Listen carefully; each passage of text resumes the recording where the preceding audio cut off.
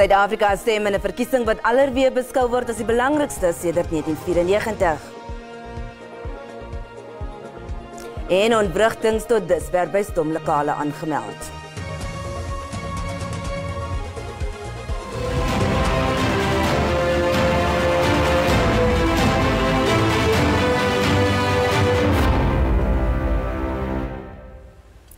Goeienaand en welkom by ons bulletin op hierdie opwindende nuusdag. Stemlokale sluit oor 'n halfuur in 'n verkiesing wat wyd beskou word as die belangrikste sedert 1994.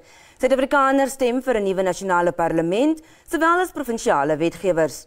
Indien die regerende ANC minder as 50% van die stemme kry, sal die party slegs deur middel van 'n koalisie aan bewind kan bly. Die telling van stemme sal begin sodra stemlokale vanaand sluit. Sedert die ANC in 1994 aan bewind gekom het, het hy nog in elke verkiesing 'n volstrekte meerderheid behaal. Hoewel baie Suid-Afrikaners ligtig is vir verandering, was heel partytjies met wie SAK nuus gepraat het dit eens. Hulle is keelvol vir onder meer swak dienslewering, werkloosheid, misdaad, korrupsie en kragonderbrekings. Daar is so 'n 'n unieke excitement in ons mense met die, die stemming. Daar's so unieke excitement. Dit vat mense terug na 1994. Dis 'n clear indication dat ons mense soek verandering. En dit is 'n goeie is 'n goeie sens wat 'n mens kry as jy sien hoe die mense instroom, soos jy net gesê het.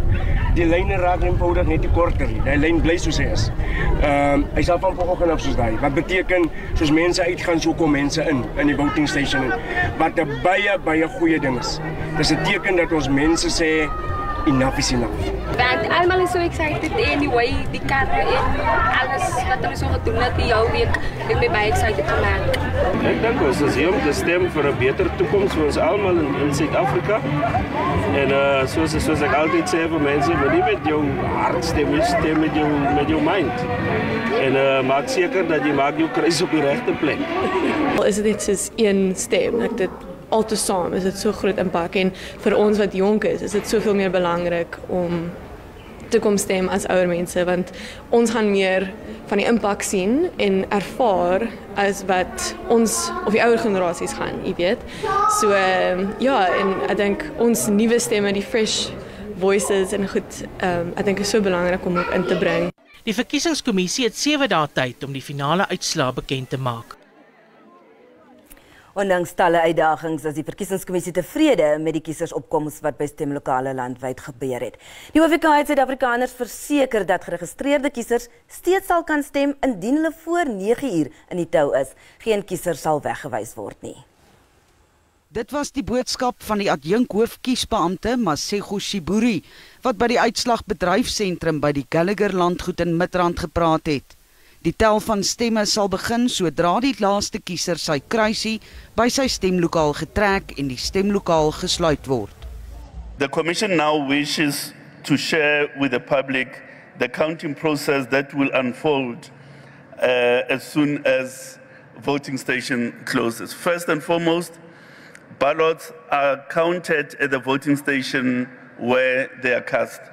So there is no transportation of cast ballots from one point to the other. Party agents and independent candidates, agents, and observers will monitor the entire counting process as well as the results compilation. Six sealed ballot boxes will be opened and emptied in front of everybody at the voting station. And each ballot is then unfolded face down and checked for the Electoral Commission's security stamp. Talle stemlokale het vanoggend laat geopen, maar die verkiesingskommissie het teen laatmiddag gesê hy was tevrede met die algehele verloop van die stemproses. By stemlokale in Johannesburg, Rodepoort en omliggende gebiede is stemmateriaal laat afgelewer. By ander lokale was die elektroniese stelsels van lyn af. In KwaZulu-Natal kon 20 stemlokale eers na 9 open weens betogings. 'n Voortsittende beampte is ook geïntimideer. In die Oos-Kaap is die stemproses by 'n lokaal ook deur 'n betoging ontwrig. Because of departure to the strict instruction of delivery, people were being innovative and in the process, they delayed the supply of voting materials to those stations. Die OVK het bevestig dat twee mense in Mpumalanga in hegtenis geneem is nadat daar by OVK-beampte se werksamehede ingemeng is. President Cyril Ramaphosa het sy kommer uitgespreek oor die voorvalle wat aangemeld is. The work of the IEC is sacrosanct. It should never be interfered with. Because when you interfere with the work of the IEC, you are really interfering with our democracy. You are trying to subvert the will of the people. Teen sowat 3 uur vanmiddag kon die OVK nog nie die getal kiesers bevestig wat reeds gestem het nie. Maar die OVK het toe reeds geskat dat meer as 66% van die geregistreerde kiesers hul kruisie sou gaan trek het. En terwyl meer as 27 miljoen Suid-Afrikaners landwyd na die stembusse kon opruk, kon langafstand vragmotorbestuurders in die Noord-Kaap nie hulle demokratiese reg uitoefen nie. Van hulle het kiesdag by 'n staanplek in Hannover deurgebring waar dit wemel van die noodsaaklike vervoermiddel. Dit is die N1, die hoofverkeersroete tussen Kaapstad en Johannesburg. Honderde vragmotors wat veel benodigde goedere vervoer, maak daagliks gebruik van die roete. Hulle het frustrasie verwoord. As you know my my my vote my vote is is, is my voice. So now um I think government should should just have to improve maybe everything that uh, is on the phones. We are using the smartphones now. So um we can maybe vote using our phones or they can um, they can use um, uh, what you call uh, the IEC can be here. Then we vote. Then they send your papers maybe to Senegal to, to show that you have voted. So now I'm going to be counted as a, a non-voter. Zamukolo Golashi vervoer lemoene tussen die Goudstad en die Moederstad. Hy het ook sy frustrasie uitgespreek. Yes, we feel bad we are the truck drivers because ICC didn't make a plan for the truck drivers to have a chance to vote. They suppose they give us the chance because the following day truck drivers don't know where it's gonna be. Because they say you must register and tell him where you're gonna be. But us, today you are here in Hanover, but tomorrow you don't know where you're gonna be. Die bestuurders voel die magdom beskikbare tegnologie kon ingespan word om hulle by die stemproses in te sluit. Keith Suster, SAK nuus, Hannover in die Noord-Kaap. En ten spyte van die algehele massa-opkomste by vanjaar se verkiesing het landsburgers in verskeie gebiede die stemproses probeer ontwrig. Die polisie is in verskeie gebiede ontplooi om te verseker dat stemmery egter glad verloop. Polisie in die Noordwes het 'n streng waarskuwing aan diegene uitgestuur wat beplan het om die algemene verkiesing te ontwrig. Dit nadat skokgranate afgevuur is om inwoners van die Shaleng nedersetting weg te dryf wat buite die stemlokaal betoog het. Verkiesingsbeamptes was ook deur polisielede vergesel. When voting is concluded, we expect again the same electoral officers to be provided with escorts, including up to the warehouses where the material, the counting, and everything will take place. Sommige inwoners in Rustenburg Noordwes het besluit om die verkiesing te boikot deur eerder hulle buurt skoon te maak. Die gegriefde gemeenskapslede van die Legalong, Ikageng, Serutubi en Lesung dorpies sê die regering het misluk om hulle van basiese dienste soos water en elektrisiteitsvoorsiening, paaie en 'n begrafplaas te voorsien. As what 44 we are not in the IDP meaning that we don't have a budget that's what 44. So because they always come when it's election and they want our votes. We are saying as the community of what 44 and as the as the leadership of the civic movement we are not going to vote. Lede van die gemeenskap sê hulle weier om polities misbruik te word. For now I'm not going to vote for any party because of they failed us starting from the beginning. They failed us. Die stemlokaal by KwaNokachile in die Winnie Madikizela Mandela plaaslike munisipaliteit kon weens 'n dienslewering protesoptrede eers in die middag open. Woedende inwoners het paaie, 'n kliniek, skole vervoer, water en sanitasiegeriewe geëis. Na 6 ure kon die polisie 'n ooreenkoms met die gemeenskap bereik waarna die stemmery kon voortgaan. Lede van die EFF het ook die stemproses by Laerskool Mbuzini in Komazi, Mpumalanga ontwrig. Verkiesingsbeamptes kon weens tegniese uitdagings nie ID-dokumente elektronies skandeer nie en wou kiesers op die fisiese kiesersrol verifieer. Maar die EFF-lede het die personeel daarvan beskuldig dat hulle buitelandse burgers help om te stem. Die kwessie was egter opgelos en stemmery het daarna glad verloop. Bly by ons, ons gaan hierna voort met 'n analis wat vir ons praat oor hierdie hoë opkomste en ook die jong mense wat ook in groot getalle opgedag het. Ons is nou terug.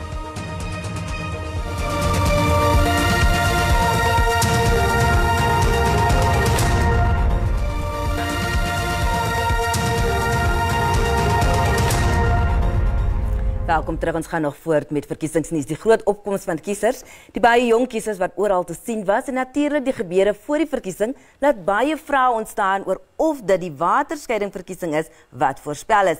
Nou praat ons hieroor met die politieke ontleder professor Jolien Kotzestein en sy is by die verkiesingsuitslagsentrum. Goeienaand prof. Goeienaand. Dit sê volgens voorlopige aanduidings lyk dit asof die stempersentasie aansienlik hoër is as wat ons miskien die een of twee verkiesings voor die gesien het. Um no sound. Dit lyk asof ons probleme het met die professor daar, maar ons gaan net probeer om na haar toe terug te skakel. Bly by ons. Ons gaan voort met ander nuus, 'n buitelandse brandpunt. In die geval die Bloudsteinse krisis kan vir die eerste keer 'n rol by die stem bespeel. Kenners meen die DA se dubbelspraak oor die Palestynse kwessie kan die Weskaap duur te staan kom, maar die DA se provinsiale leier Tertius Simmers meen maatskaplike kwessies op voedselvlak sal egter groter aanklank vind. Oud-president Nelson Mandela en die eertydse Palestynse leier Yasser Arafat het hegte bande gehandhaaf. Die ANC bepleit 'n twee-staat-oplossing wat Palestina se onafhanklikheid sal verseker. Die DA sê hy stem saam hiermee, maar 'n kenner meen die party se uitsprake weerspieël 'n onsensitiwiteit teenoor die Palestynë se lot. Die vraag is of beleidsrigtinge rakende die brandpunt kan bepaal vir watter party veral Muslim Suid-Afrikaners sal stem. The in terms of how the ANC has responded to the Gaza issue now in relation to other times is that it has been a lot more forthcoming um, and it has been a lot more um, um, a lot more vocal both domestically and internationally um, which could mean that with a lot of mainly Muslim voters um, in the Western Cape as a whole, would sort of see that um, as a um, much more appropriate response to that issue than the DA. Die voormalige DALP Galip Kachalia het vroeër vanjaar uit die party bedank nadat hy uitgesproke was oor die party se benadering tot die krisis. Die DA het sy uitlatings verwerp. Nou wonder kenners of die kwessie by die stembus swaarder sal weeg as plaaslike kwelpunte. Again, it is a possibility. Um, but at the same time, one needs to look at the anger towards the ANC at national level. So it's like things can balance itself out. Um, I would say that it could be the first time that there's a foreign policy issue which has impact on the vote. Um, we would need research after the elections to actually get a, a proper sense of that. Die DA huldige ander standpunt. Given that you know if you take the noise away and you focus on the in-depth questions that were asked and the feedback, a very low percentage of residents, predominantly in the metro area, are actually massively concerned about the Palestine-Israel matter, given that every year within our own province, due to inadequate police resources, we lose people, young people die between three to 4,000 every year, which for them is a bigger issue. Yes, we, we, we do have apathy with what's happening between Palestine and Israel. The solution is quite clear, but once our community starts focusing on But what is it? How does that relate to what's happening in our country? Hoewel die Midde-Oosterse konflik belangrik is, gaan Suid-Afrikaners gebuk onder kwai ekonomiese pyne. 'n Moeilike keuse lê dus oor môre vir kiesers voor. Eybre Babie, SAK nuus parlement. En ons skakel nou oor na professor Jolien Kotzstein by die verkiesingsuitslagsentrum in Gallagher Estate in Midrand. En soos vroeër gevra het, wil ons weet of die hoor stem wat ons sien of die stemopkomste wat ons sien, dalk dui op iets wat ons nie gesien het in die vorige 2 of 3 verkiesings nie, professor? Goeie uh, goeie naand. Jammer, ek kon nie daai laaste stukkie so lekker hoor nie. Kan sal jy omgee net om weer vir my te vra? Nee, ek wil net weet waarop dui dit dat daar so 'n hoë opkoms is wat ons nie gesien het miskien in die 2019 verkiesing en die vorige een nie.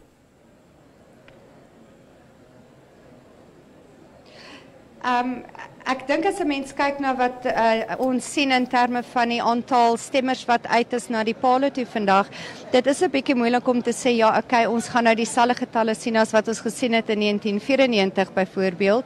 Um maar ek dink beslis een van die kwessies is dat ons wel 'n uh, 'n uh, kiesers um 'n voter turnout kan sien wat dalk 'n bietjie groter gaan wees as wat ons gesien het in vorige verkiesings en ek dink dit speel nogal baie in na wat ons gesien het in baie van die um sosiale media en um uh stories en narratives en al daai um uh uh dinge rakend hoe mense ingespeel het in die verkiesing en amper opgesweep geraak het binne in die verkiesing ook. En of hulle nou opgesweep geraak het in terme van um, ons is teleurgestel, ons wil nie gaan stem nie of alternatieflik ons is teleurgestel, maar ons voel ons wil gaan stem want ons wil 'n verandering bring. En daar was ook 3 uh, kiesbriewe in ons hande gesit vandag en dit gesê dit is oranje, dit is bruin en so. Maar uh, dink jy dit sal mense beïnvloed het oor die keuses wat hulle sou maak en weet hulle dalk wat hulle gestem het voor? Weet jy, ek dink as 'n mens kyk na die onafhanklike verkiesingskommissie, 'n mens moet ook in ag neem dat daar was 'n baie baie ehm um, ek dink 'n uh, wye voter education program wat ons gesien het waar daar verduidelik is vir mense hoe jou verskillende stem uh, briewe gaan lyk. Like. So ek dink vir ons ehm um, waarna ons kyk omdat ons 'n peiling hardloop namens uh, vir die onafhanklike verkiesingskommissie rakend wat die publieke persepsie is, um, oor die verkiesing sal ons daai data meer kan kry oor hoe jou um, ballot paper dalk beïnvloed het hoe kiesers die hele stemproses ondervind het. En dan professor het ons ook gesien dat daar baie mense is wat voor die tyd gesê het hulle weet nog nie vir wie hulle moet stem nie. In die as jy nou in die ry gestaan het, dan hoor jy mense sê hulle weet nog nie vir wie hulle moet stem nie. Ehm maar daar binne moet jy 'n keuse maak. Dink jy daar is 'n deursiggewende ding wat jy daar binne laat besluit vir wie jy uiteindelik moet uh, moet stem? Weet jy, dis 'n baie moeilike vraag want daar is so baie dinge wat inspel wanneer dit kom by daai um keuse om te sê okay ek moet nou my kruisie maak. En as 'n mens begin kyk na van jou jou psychosocial teorieë, um jy weet rakend die die die gedrag en van die patrone wat kiesers uitwys, kan dit enige iets wees van ek het ver oggend opgestaan en ek was gefrustreerd want daar die um elektrisiteit nie na ek het ver oggend opgestaan en ek voel nogal goed want ek voel dit is 30 jaar van demokrasie en ek voel vry. So weer eens ons sal 'n bietjie meer insig kan begin kry oor die faktore wat daardie keuses beïnvloed wanneer ons die uitslae kan begin kry vir ons peiling wat ons doen vir die OVK. En dan daar was ook baie kleiner partye, dit was ook waar um, onafhanklike kandidaate nou kon staan. Dink u hulle sal die groter partye 'n knou gee en dan ook uiteindelik 'n uh, inslag hê op die finale uitslag? Um ek dink dit is ook een van daardie vrae waar mense sal moet wag en kyk, maar ek dink 'n mens moet ook realisties wees rakend onafhanklike kandidaate en dit is meerendeels 'n uh, 'n vraag of a question of resources. Um politieke partye is dalk het dalk 'n groter masjinerie wat kan toelaat dat hulle fondse kan insamel, um dat hulle borgskap kan kry en onafhanklike kandidaate het nie noodwendig daardie tipe masjinerie agter hulle nie. So ons sal maar moet wag en kyk om te sien watter rol um die kiesers ook vir onafhanklike kandidaate gee en ook vir ons wys of daar 'n uh, appetite is vir onafhanklike kandidaate in toekomstige verkiesings. En ek weet hierdie is nou 'n moeilike vraag om te vra, maar op almal se lippe is, gaan die ANC sy meerderheid verloor en in wat ons gesien het vandag, is dit moontlik? Um, weet jy weer eens ek sê gewoonlik dat my kristal uh, my my kristalbal is stikkend. Um, maar dit bygesê ek dink 'n mens moet kyk na vorige verkiesingspatrone. Um, en as 'n mens net kyk na vorige verkiesingspatrone, kan 'n mens sien dat die ANC het oor die algemeen nogal 'n bietjie steen verloor, maar 'n mens moet terselfdertyd ook kyk van hoeveel van die voting public het eintlik uitgegaan om te gaan stem op stemdag. So ek dink dit is regtig waar 'n kwessie waarna ons kyk vandag is hoeveel mense is eintlik uit om te gaan stem en meer belangriker watter politieke partye kon hulle ondersteuners kry om te gaan stem. En ek dink daai da is baie belangrike faktore voordat 'n mens kan begin speel met moontlikhede. Jy weet, 'n moontlikheid dat die ANC sy meerderheid gaan verloor, 'n moontlikheid van koalisie, um, of 'n moontlikheid van 'n nuwe politieke party. Moet 'n mens eers wag tot jy al die inligting het. En die belangrikste daarvan natuurlik is hoeveel mense het na die pilot toe gegaan. En dan net laas is dit gepraat van 'n uh, verkiesingsgratifikasie opname wat jy doen. Ehm um, wat jy vir die OVK doen, net so kortliks wat wat behels dit? Ehm um, so die peiling wat ons doen vir die OVK is eintlik verskriklik belangrik en dit speel in in of kiesers voel dat die ehm um, verkiesing was regverdig, voel hulle daar was genoeg vryheid um voel hulle daar was integriteit in die verkiesingsproses gewees en deel van hierdie uitslaa natuurlik um dra ook by tot 'n verklaring van die OVK of die verkiesing regverdig en vry was. Um en ek dink dit is verskriklik belangrik dat 'n mens ook moet uh onthou dat wanneer ons kyk na verkiesingsintegriteit is die is die publieke persepsie een van die belangrikste um parameters of meters wat ons het om te kan bepaal of mense gevoel het ja, weet jy, ek het nog steeds vertroue dat hierdie verkiesing was wel vry en wel regverdig. Baie dankie. Dit is dan professor Kotse daar by die sentrum in Midrand. En dan vir baie mense wat dit seker baie belangrik is waar hulle krisis vandag moes trek, is die partyleiers en hulle het ook vandag elkeen op hulle eie plek hulle uh, krisis gaan trek.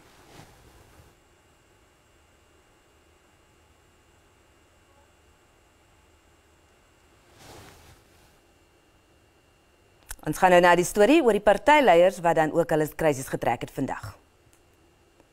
Land se eerste burger het gestem in sy geboorteplek Chiawelo in Soweto, Gauteng. Africa, this is the day when South Africa decides decides on uh, the future of our country, who should lead the government uh, of South Africa, and I have no doubt whatsoever in my heart of hearts that uh, the people will once again invest confidence uh, in the African National Congress to continue to lead this country. Die DA-leier John Steenhuisen het gesê dat hy beïndruk is met die OVK se reëlings waar hy gestem het in Durban.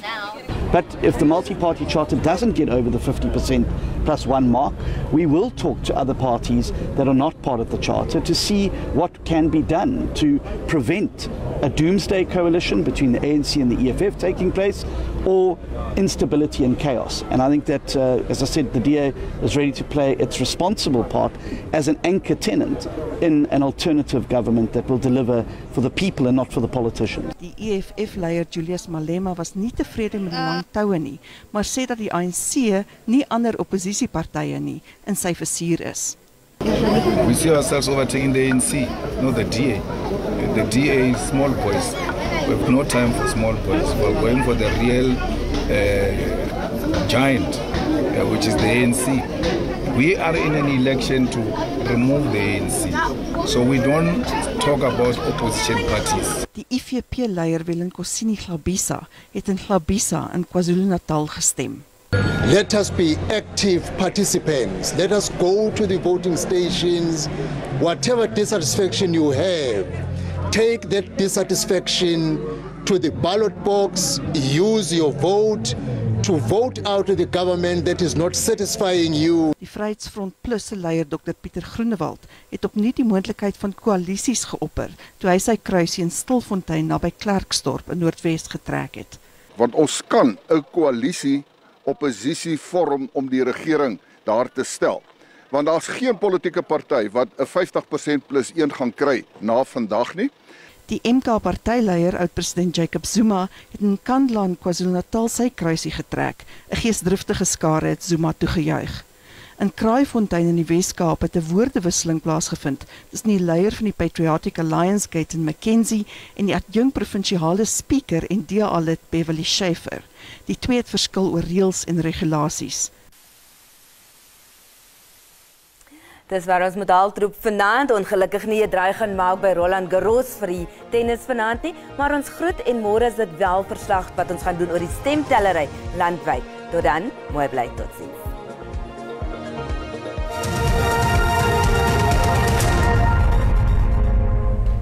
Goeienaand en hartlik welkom. Die weer vooruitsigte is as volg. Wat vandag aanbetref, bewolkte toestande kan verwag word in dele van die Weskaap met sterk wind wat ook verwag word in die kus van die Weskaap. Sterk tot matige wind kan ook verwag word kuslangs ander mooi word die grootste dele van die land. As ons kyk na môre, 'n koue front beweeg deur oor die westelike dele van die land met oggendmiskolle wat ook verwag word aan die Weskus. Versprei tot wyd verspreide bye kan verwag word streek van die Noord-Kaap, Weskaap tot in die Oos-Kaap. Ander mooi weer die grootste dele van die land. Daar is 'n waarskuwing uitgereik deur die Suid-Afrikaanse Weerdiens vir winderige toestande en dit kom vir voor in van die Noord-Kaap, Vrystaat, Oos en asook in die Vrystaat in die, in die Oos-Kaap. Winderige toestande kan ook verwag word in die Kaapkus. Dan is ook 'n waarskuwing uitgereik vir weggolfveelbrande en dit is ook vir môre. Dit strek oor die grootste dele van die Noord-Kaap, westelike dele van die Vrystaat, grootste dele van die Oos-Kaap en noordelike dele van die Wes-Kaap. Ons minimum en maksimum temperature, 'n koel dag kan verwag word in Gauteng, Pretoria te maksimum van 24, Johannesburg te minimum van 5 en 'n maksimum van 23. Dan beweeg ons al in Limpopo, 'n kan verwag word in hierdie provinsie, anders is warm. Bella Bella Mkopane te min te van 27, Messina se minimum daar is 12 met 'n maksimum van 30. In Mpumalanga, gedeelte 'n sonnige dag kan eerder verwag word in hierdie provinsie ander koel tot warm die kookstyg tot 28 grade in. Kuslangs in KwaZulu-Natal 'n sonnige dag kan verwag word. Dit is ook warm. Ulundi het 'n maksimum van 29, Richard Bay het minimum van 13 en 'n maksimum van 31. In die Oos-Kaap dit is gedeeltelik bewolk tot bewolkte toestande, ander koel tot warm, maar kan dit 'n minimum van 14 en 'n maksimum van 28. Willowmore het 'n minimum van 9 en 'n maksimum van 25. Gedeeltelik bewolkte toestande asook met wyd verspreide buie wat word in die Wes-Kaap. Dit is ook koel, 'n koel dag wat verwag kan word. Kaapstad het 'n minimum van 13 en 'n maksimum van 17. Beaufort se maksimum daar is 23. In die Noord-Kaap 'n koue dag kan verwag word. Sutherland het 'n minimum van 5 en 'n maksimum van 13. Terug na die binneland in die Vrystaat, 'n koue nag kan verwag word in Vilsburg en Bethlehem, daar die temperatuur tot minus 2 grade. Bloemfontein het 'n maksimum van 24. Dan laastens Noordwes, 'n koel dag kan verwag word. Temperature kan verwag word laat 20 tot die hoof toe word 20 tot skat 'n maksimum van 28. Dit is nou van ons hier by die weersentrum. Geniet die aand.